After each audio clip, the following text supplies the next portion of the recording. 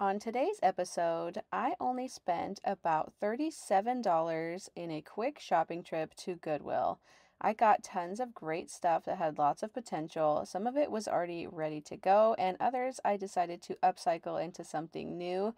But you're really going to like today's video. If you like watching thrift shop with me and thrift flip videos or cottage decor or French country decor, consider hitting subscribe so you can see more. We post videos every Wednesday and Sunday.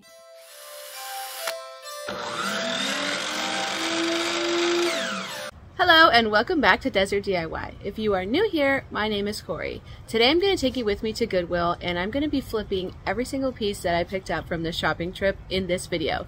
So here we go.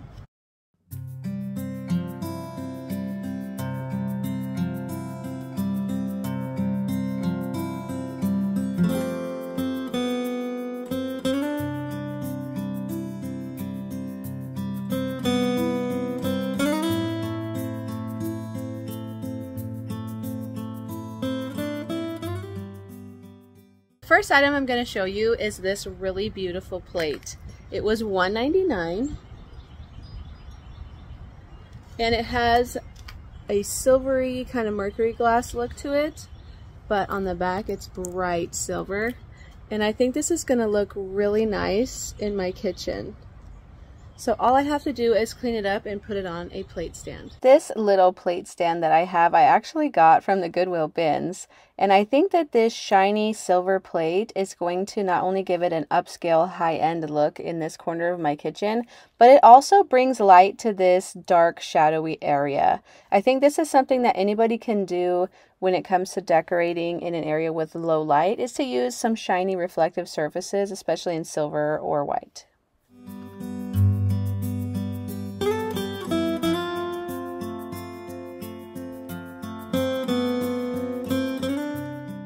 Second item that I thrifted is this butter dish. It's a Rae Dunn piece that I got for $1.99.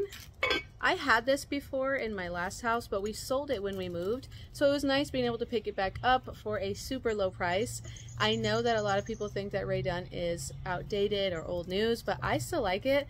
And right now is a really good time to find it for really cheap because everybody's getting rid of it to do something new, but I love it.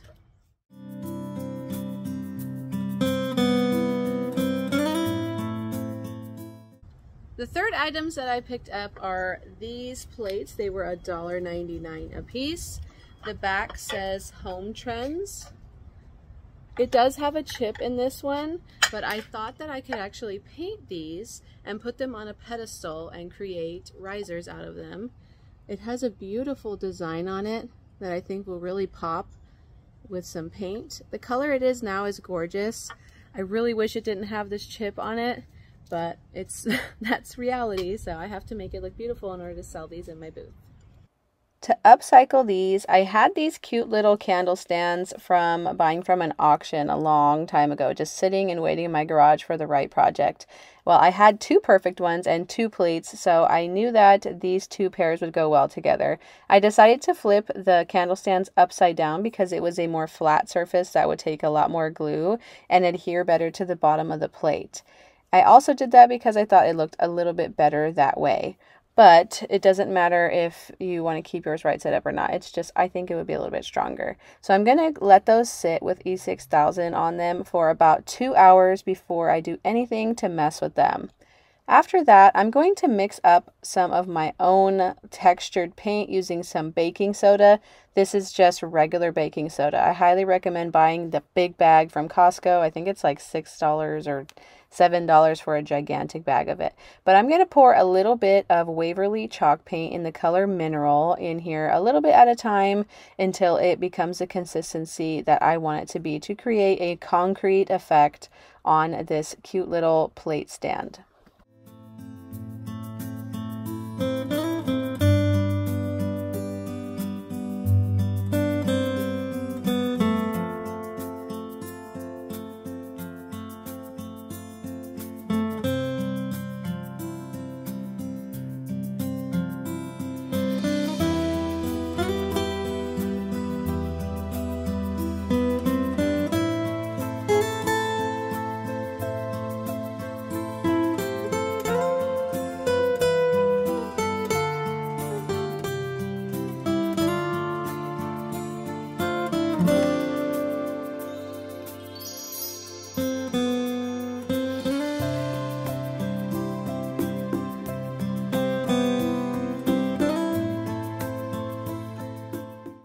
On this coat, I am just going to use the Waverly chalk paint to get rid of that opaqueness from the original layer that I did. I don't need to do any more textured layers on here because it will start getting too thick and it won't stick as well. Another thing is I've never done this on super slick surfaces, so I'll have to let you know after a while how durable these things turned out. But in order to seal it, I just put in some clear coat into the chalk paint since it did need a third coat of paint anyways. I tried to make it to where I could kind of do the third coat and the clear coat at the same time and save some of my own time.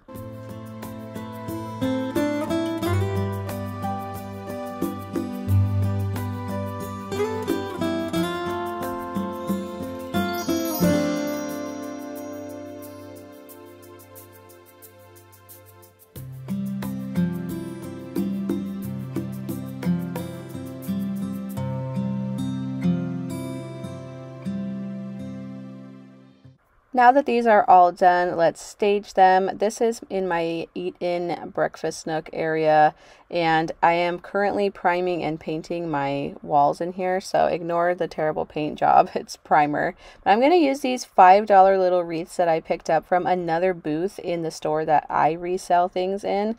Five bucks is a great deal for these. I think that I probably would have spent 10 to 20 if they were new. And now I'm going to put these little chocolate bunnies in here. I got them from Hobby Lobby. They were $5.99 but 40% off. So $6, 40% off would be what 360 I think. They are adorable and I think they're going to look really great with staging for YouTube and also staging for inside my resale booth. And I think they would look great just decorating for spring or Easter in general.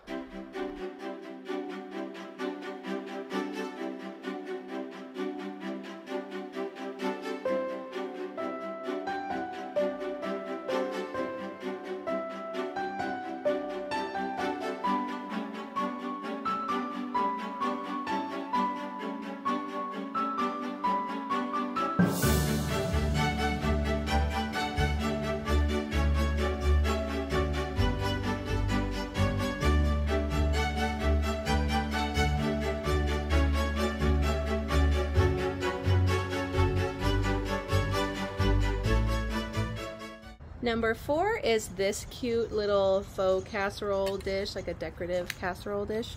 It was $2.99. It has a few chips along the edges, which I think I can touch up with some brown paint or maybe some stain.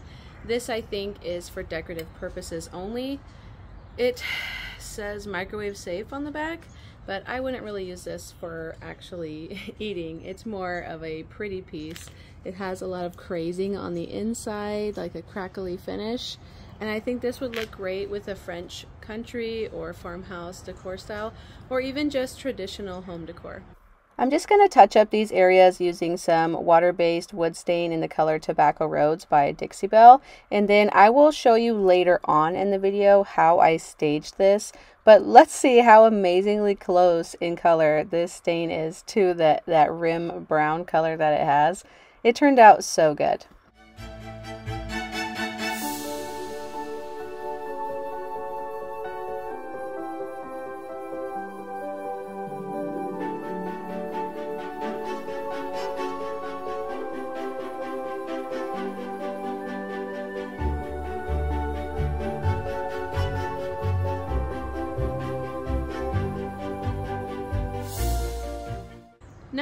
I have this cute little laundry sign and it's actually from Magnolia brand that you can get at Target. I paid $1.99 for it and I think this will look great in my laundry room.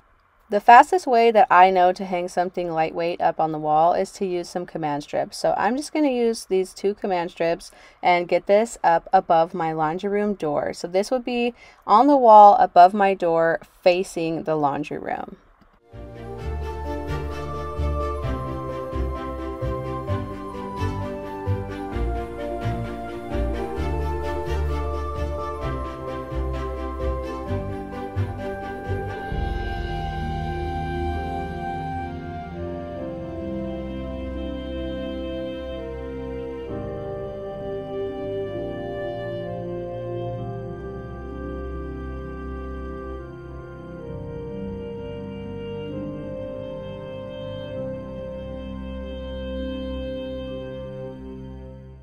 Number six is this cute little candle stand.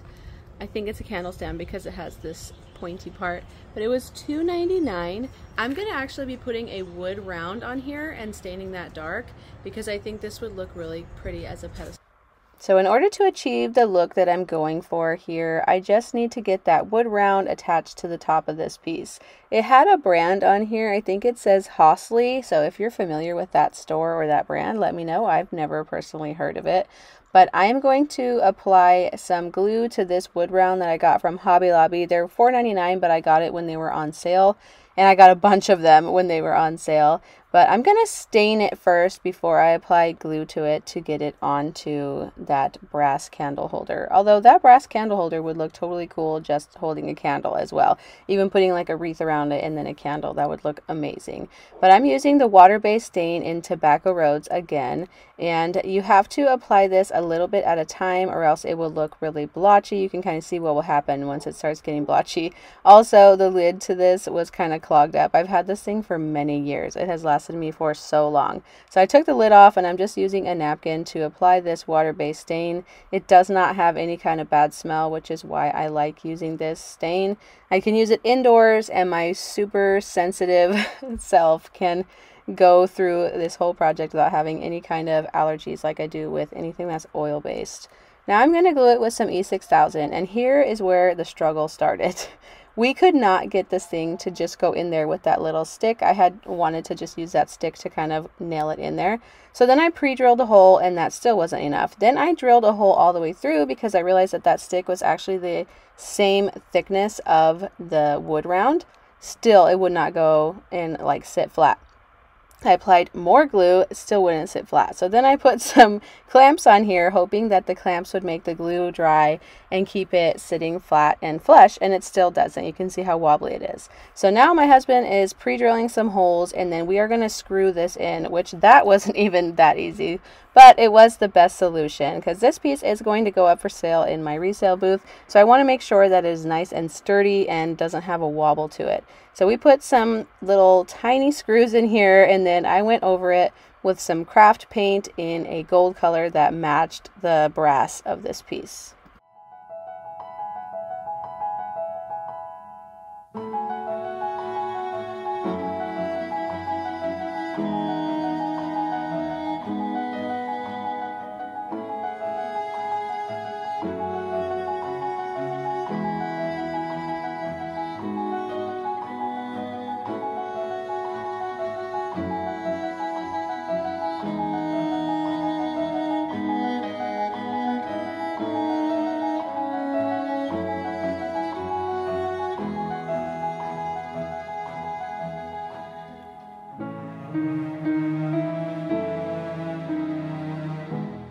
Number seven is this little vase or jar. I don't know. It was missing a lid.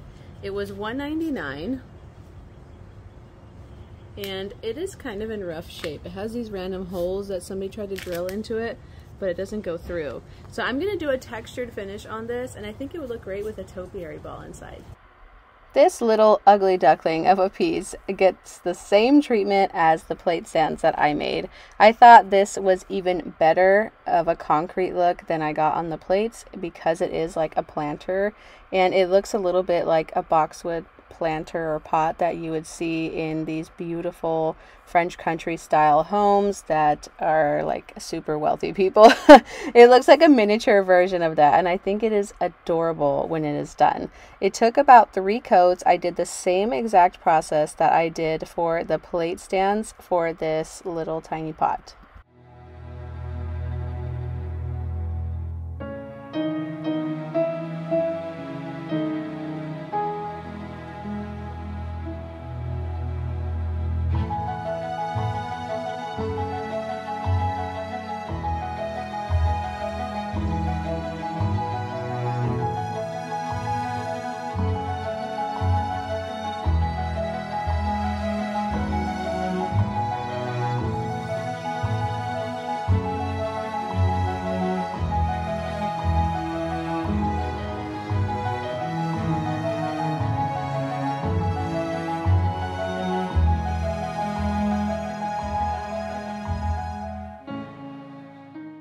Now I'm going to stage it with some little topiary balls since I did want this to look like a little topiary. I have two different topiary balls that I wanted to try. I wanted to try white because like I was saying, I'm trying to brighten up this dark corner in my kitchen counter. And so I tried white first and I did like it, but I felt like it just looked way too big on top. I don't know. I feel like I need maybe a, a smaller topiary ball, but my smaller ones are too small. So I tried this green one and it actually looked a lot better in my opinion. Which one do you prefer? The white one or this green one? I think the green one kind of gives it more of a natural look and helps to elevate this this area to look a little bit more high end with that beautiful high end silver plate back there.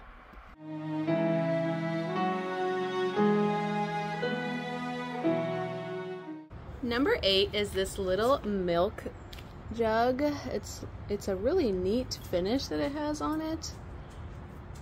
I thought it was just really unique. It's very dirty, so I have to give it a good wash. But it was only $1.99. It's it's kind of like a crock, right? It's stone.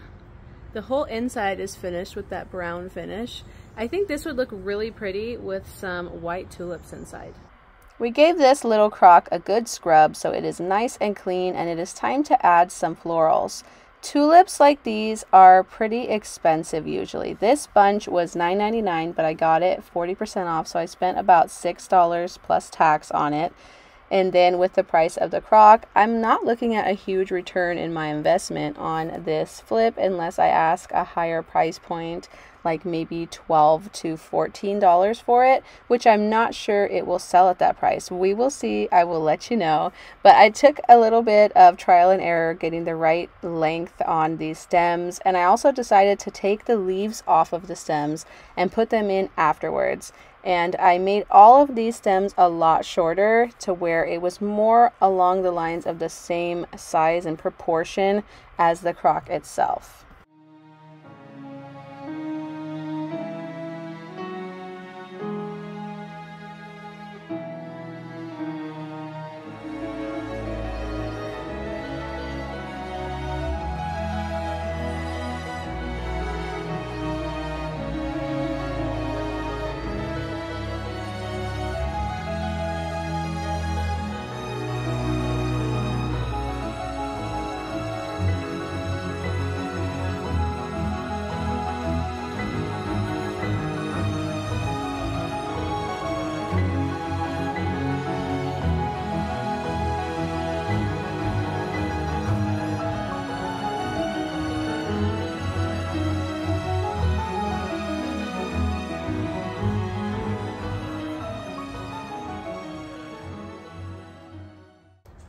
For number nine, I have this cute little watering can. It was only 99 cents, and I think it would look cute with some lavender coming out of it. My little ones really liked playing with this watering can, but now it is time to flip it and get it ready for resale for springtime. First thing I have to do is just remove the tag that's on there. I just wanted to show you that this is part of my process. I don't always show it, and I don't always remove them if they're going to be underneath something that is glued. But look at my kids had poked a smiley face into this foam.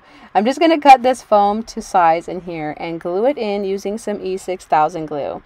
The next thing after that that I have to do is um, put in some florals. I got the florals that I'm going to put in here from Joann. And do you call it Joann or Joann's? I swear I've been calling it Joann's my whole life. But then when I looked it up, it's actually called Joann with no S. What? Am I the only one who was confused by this? They were originally $5.99 for this big bunch, but they were on sale buy one get two free. So technically it was 30% of that price. So much cheaper. And I took the little bottom piece of these florals off because I'm going to use it on my next DIY. And plus it wouldn't have worked sticking it into the foam if I didn't remove that bottom one. Another thing that I'm going to do to this is add some Spanish moss. I got this brand new bag of Spanish moss from the Goodwill bins in a different trip. But I'm going to cut it into smaller sections and hot glue it in there. And then that is all for this project.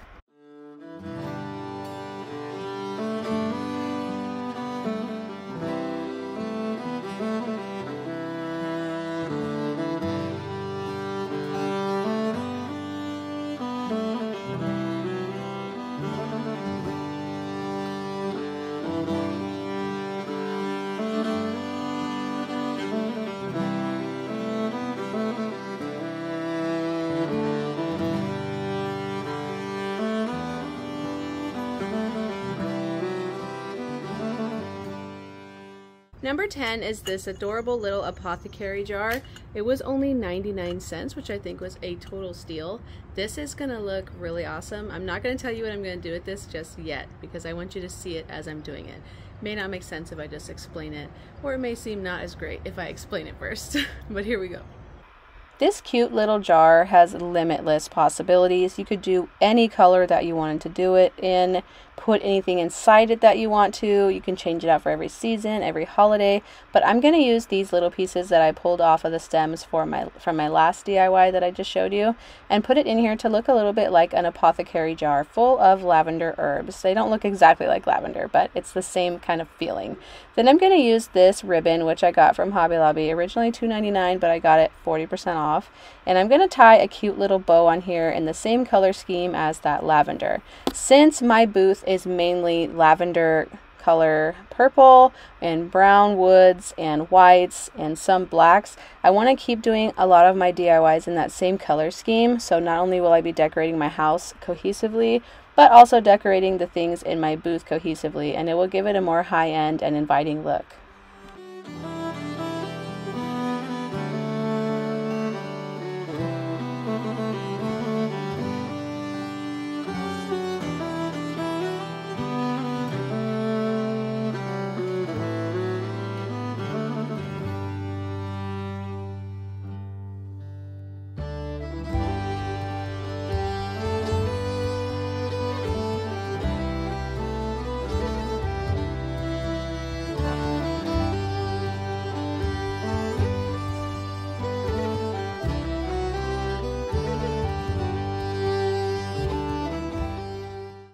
11 is this adorable little caddy. I think it is for silverware and napkins, but I'm actually going to use this in my craft room for paintbrushes.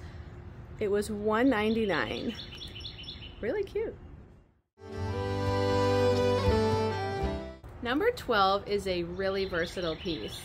This little tray slash basket is really popular everywhere. You can find one of these in any store pretty much. And they're usually around 12 to $20. So for me to get this at the Goodwill bins, that was a steal of a deal. I don't have the price tag on it. For some reason, it must have come off.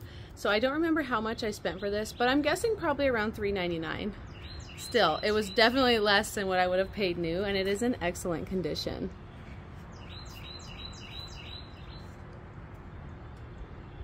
I think this one's a keeper. Number 13 is this adorable little lantern. It was only $3.99.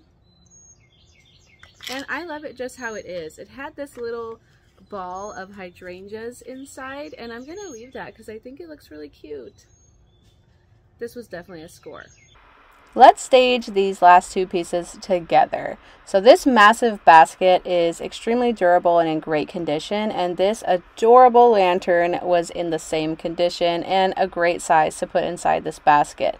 You can decorate these baskets in so many different ways as well. I've had a lot of people comment saying that they don't really decorate in the style that I do my flips, but that they still enjoy watching because I can explain how you can do these same sort of things in completely different styles and it still is totally awesome for different people in different ways. So this is one of those things. You could totally go boho or mid-century inside a basket like this, but for my booth and for springtime, I'm doing a little bit of a French country spring look.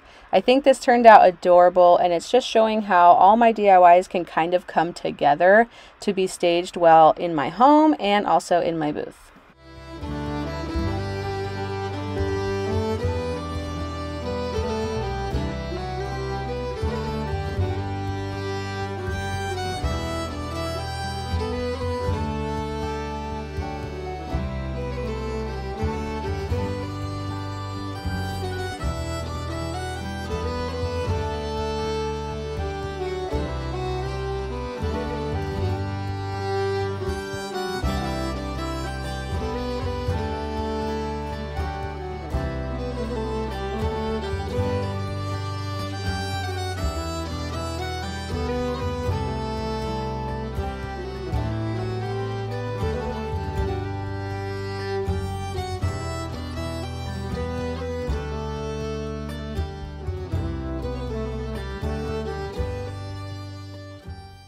Number 14 and the last piece today is this empty frame.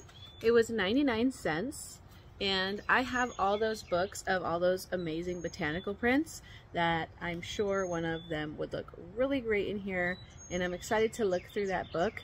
Also, I found that botanical book that I showed you guys in my last video on Amazon for sale. So I'm going to link it. It's an old book, so they're selling it used on there. And I think there's only like one or two left. So if you want it, go down to my description box and click the link to the Amazon store that I have and get it right away because it could sell any second.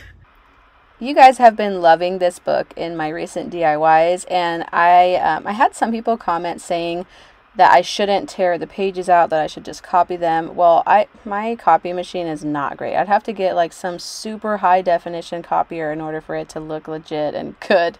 But I'm just going to tear these pages out. I found this on Amazon for I think between 20 and 30 dollars for this book. It's not a super expensive like antique book worth millions or anything like that. And what I'm doing is I'm maximizing the money that I spent on this. So I spent 50 cents on this book at the Goodwill bins and I'm going to tear out pieces of it individually and and make different projects out of them. I've even sold some of these pages individually by themselves and I sell them for $3.95. So if I were to just sell all the pages in this book, let's say I only used a hundred of the pages in this book, I would make almost $400 off of a 50 cent book. So in my opinion, I think it is definitely worth tearing the pages out and using the real ones because they look better in the projects than if I were to make a copy of it and use the copy. Plus it costs even more money to do those copies. Printer ink is expensive, and I can't imagine how much I'd have to pay for each page to go get them copied like professionally and in a really good high quality. So I'm just going to keep on tearing these pages out. I'm sorry for those book lovers that are super hurt by the fact that I tear pages out, but I just wanted you to understand why I do and that I have thought about it and made the decision I think is best for our business and just for my own decorating purposes. And you can do the same thing. I found these on Amazon and they were super affordable on there. And I think that they're definitely still worth the investment if you're going to be uh, flipping all those pages. You can get a definitely huge return on your investment. But now you can see I just cut out a cardboard backing to go on here to stabilize it in there and make it more sturdy. And that is from a thredUP box. I buy all my clothes off thredUP. I am not sponsored, but I do want to mention that they're a great place to get your clothes for way cheaper than buying new. It's also better to buy used in this very disposable world that we have. But here it looks like a beautiful little painting. It reminded me so much of Winnie the Pooh's Hundred Acre Woods. Do you get that same feeling from it? It to me just looks like you're stepping into the Winnie the Pooh books, into the Hundred Acre Woods. It's a great cottage decor piece that I think is going to be a quick seller in my booth. But this is my last project for today. I did not show how I flipped the butter dish and the little holder for my paintbrushes because I feel like you guys already know what I'm going to do with them. If you want to see them, let me know. I'll show you in another video. But I only spent $36.61 on everything that I bought from this video today, which I think is amazing, a great deal, which is hard to find these days. Even at Goodwill, it's usually hard to find these prices. But let's get a good laugh at some of my outtakes. What is this, number five? Thanks, Piper. Next I have this cute little, what is this watering can? Ay, ay, ay. Also,